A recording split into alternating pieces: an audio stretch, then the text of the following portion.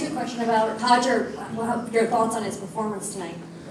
You know, I thought uh, it was. Um, I thought he did a good job. And when you look at a fighter like Kevin Randleman, I mean, he knows all the tricks in the book, right?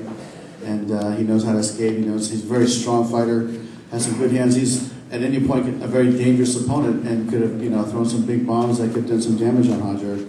But uh, I think he played a very, very good game plan and uh, eventually wore him down and then submitted him. So I think he did a very good job.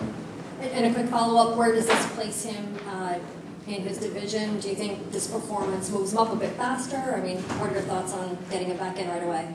Well, I mean, he fought a guy that had uh, a tremendous amount of experience, and uh, but you know, really, Loretta, what I like to do is sit down with uh, Roger and his camp and, and evaluate, uh, you know, where they want to go, where we want to go, and uh, you know, put him into another fight that's competitive. But um, you know, that conversation haven't, has not happened yet. Okay, thank you. Another question? Ozone Sports Radio 810 WHB in Kansas City. Hodger, how much of a responsibility do you feel to uphold the, the Gracie legacy in MMA?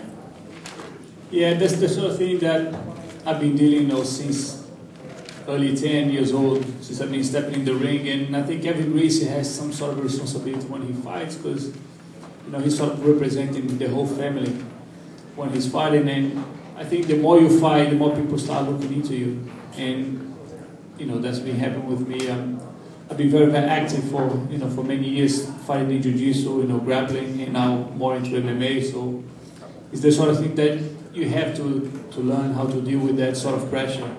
Because, you know, you can't let that interfere in the, the way you fight or your concentration. So I think I, I'm pretty used to it. And uh, we're going to see if you fight. Are you going to step up the frequency of your fights? This is your third fight, and uh, you turned pro in like what 06?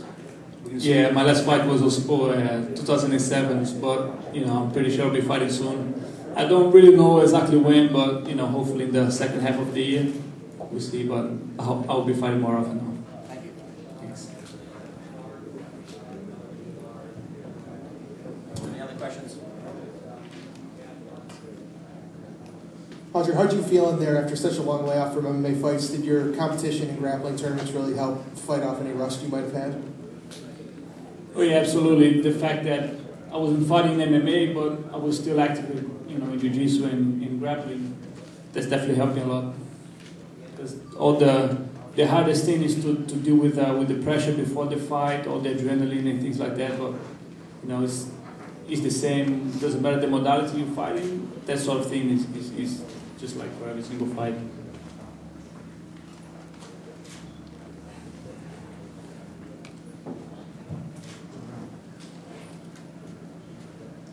Thanks. Hydra backstage, we talked just for a second. You uh, talked about some body shots, I believe, that you said were really, really hard. Could you talk a little bit about Randleman's performance, where you felt he was the deadliest against you? I think you said that was an area. Yeah, I think Kevin Randleman is a very dangerous fight. You know, he's very fast and very explosive, and he has a, a very dangerous left hook. And you know, doesn't matter where in the fight, the moment that he throws that, you know, he can knock everybody out. And I think that was my main concern against him this fight. And in, I think I was able to keep the reach, so that makes it harder for him to, to reach me with that with the left hook in the face. He tried to reach my body a couple of times. He got me twice, so you know I could feel how strong he was because you know he really threw those those hard punches. But you know, glad I I was able to keep him away from throwing that on my face. Any other questions for Hodger?